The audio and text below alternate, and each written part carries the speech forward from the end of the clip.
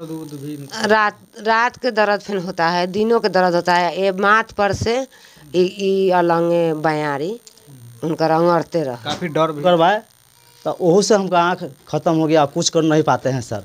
कोई स्वास्थ्य विभाग की टीम यहाँ पे जी सर नहीं कोई आए हैं। अच्छा, या कोई जनप्रतिनिधि आपसे पूछने? के लिए? कुछ नो कोई नहीं आया है सर। जहाँ से ऑपरेशन करवाया है ना जहाँ से एगो हम एक लाख कुट्टी भी नहीं लगा है नादी में कि कुछ हो ही नहीं था हम कहाँ कटेंगे इनका लेके आँख के परमल रहे बेटा सब तो अपना अपनी के बायल बायल है तो हम ना कोनो के कहली ऑपरेशन होके ओमे से निकला तो ओ बेर से आँख इनकर दर्द तनको नहीं कम रहा है तनको न।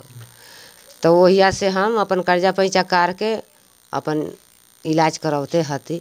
लाइव और दबाएँ बेल आइकन हमारे वीडियो सबसे पहले देखने के लिए। देखना शुरू कर दिया आप प्रकाश लाइव। आपको बता दें कि मुजफ्फरपुर ज़िले में बीते आई हॉस्पिटल में इलाज करने के दौरान पैंसठ लोगों का आँख का एक आँख ठीक ढंग से काम नहीं कर रहा है। अभी तक लगभग 20 लोगों का आँख को निकाल दिया गया है और दो लोगों की अभी तक मौत हो चुकी है। अभी हम मौजूद हैं कांटी नगर परिषद के वार्ड संख्या 12 में। यहाँ पे फुदेनी पासवान जी हैं। इन्होंने भी आई हॉस्पिटल में जाकर अपना आँख का दिखवाए थे और आँख का ऑपरेशन करवाए थे और इनसे जानते हैं कि क्या कुछ अभी परेशानी हो रहा है और जानने के लिए यहाँ पर हमारी टीम पहुँची हुई है। क्या कुछ परेशानी हो रहा है? जी सर, पहले से आँख का प्रॉब्लम था तो सोचे कि से हम थोड़ा सा ऑपरेशन करवा लेते हैं तो और ठीक हो जाएँगे तो हम कोई कारोबार करेंगे।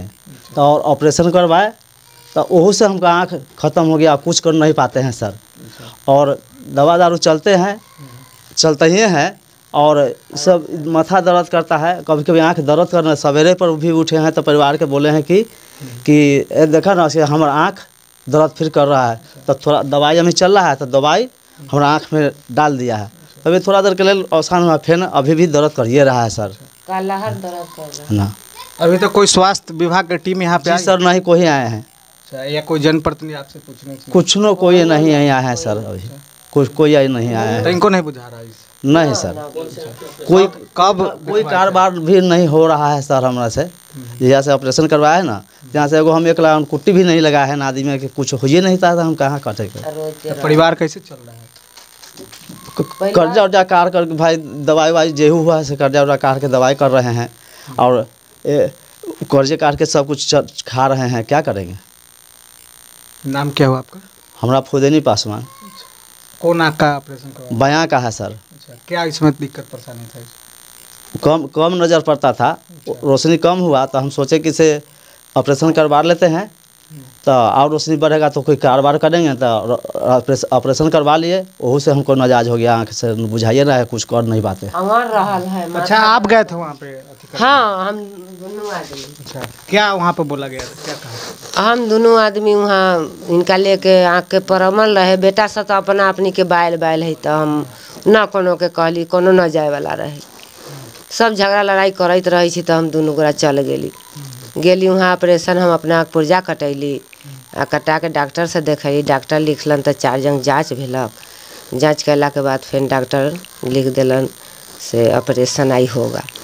तो ठीक है ऑपरेशन पर ही चल गया। ऑपरेशन होके ओमे से निकला। तो ओ बेर से आँख इनकर दर्द तनको नहीं कम रहा है। तनको न आसाने नहीं। इसमें क्या अथी मान रहे हैं दोषी? इसमें दोषी मान रहे हैं ऑपरेशन करने वाला के। ऑपरेशन करने वाला के दोषी मान रहे हैं हम। तो वहिया से हम अपन कर्जा पैसा कार के अपन इलाज करौते हती देखौते हती दवाई बीरो करते हती। आई हॉस्पिटल में हम एक बार ना दस बार दौड़ के गए हैं बाकी। कथी बोलता है डॉक्टर साहब खाली लिख देता है फिर जाँच। तो जाँच में सब तरह से जाँच होके आ फिर भेजता है से अब दवाई लेना है वालू। सोलह नंबर में जाना है तब पाँच नंबर में जाना है। सत्रह नंबर में। जाना जाना है तो बारह नंबर में जाना है। तनका जंग नहीं दौड़ता है। आ ओकरा बाद में तब जाके तो लिख देता है तो दवाई ले लीजिए घर पर चल जाइए। तो दवाई लेकर हम घर पर चल आते हैं तो अपन दवाई हम डालते हैं हम कोनो पढ़ल लिखल। रात उत के भी दर्द उर्द भी रात रात के दर्द फिर होता है दिनों के दर्द होता है। ये माथ पर से अलंगे बयारी उनका अड़ते रह। काफ़ी डर भी लग रहा है हाँ डर लागल है आ थर थर थर थर करेजा करे लागल है। देखिए, हमारे हाथ में मुजफ्फरपुर के आई हॉस्पिटल का यह अभी तस्वीरें अभी आपको दिखा रहे हैं और आपको बता दें कि आई हॉस्पिटल में अभी तक कई लोगों का आँख का सर्जरी करवाया गया था। वो पूरी तरह से अभी जो यहाँ पर जो पटना से टीम आई है, वो पूरी तरह से सभी जगह पर जाँच कर रही है।